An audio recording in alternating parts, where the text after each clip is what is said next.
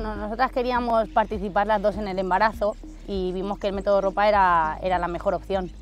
Lo comentamos con el médico que ella quería quedarse y yo quería ser la donante del óvulo.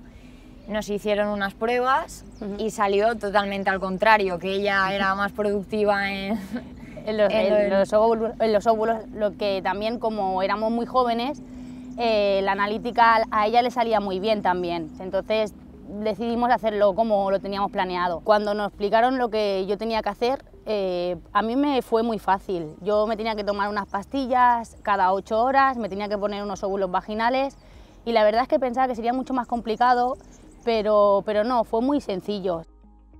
A mí me cuesta mucho, no me gusta nada las jeringas, eh, lo pasaba muy mal cada vez que iba al médico, pero por un niño lo hubiera hecho todo por nuestro under y me fui acomodando y nada, lo llevamos muy bien. Yo aconsejaría hacer este método porque quieras o no, es una forma de que las dos participen en el embarazo, de que realmente pues tú también tengas, no solamente la que se queda embarazada, sino la, pareja también tiene una vivencia de eso, aunque sea el tratamiento, pero ya tiene algo que ha aportado al embarazo, que también ha participado ella, que ha dado su granito de arena y bueno, es muy bonito, la verdad.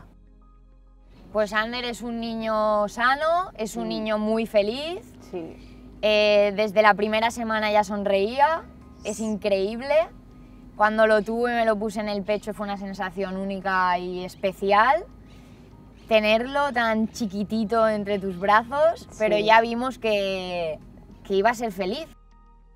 Realmente a ella cuando le hicieron la intervención para extraerle los óvulos le salieron 19. Lo que pasa es que nos explicaron que a pesar de haber salido 19, posiblemente muchos no, no sobrevivirían. Y bueno, después de hacer las pruebas y de fecundarlos y todo esto, nos quedaron seis embriones. Y los congelamos porque realmente teníamos pensado tener un segundo bebé. Y claro, sabiendo que tenemos cinco embriones congelados, pues tenemos la oportunidad de, volver a intentarlo dentro de X años. y que lo tenemos pensado, que queremos bueno, sí. otro.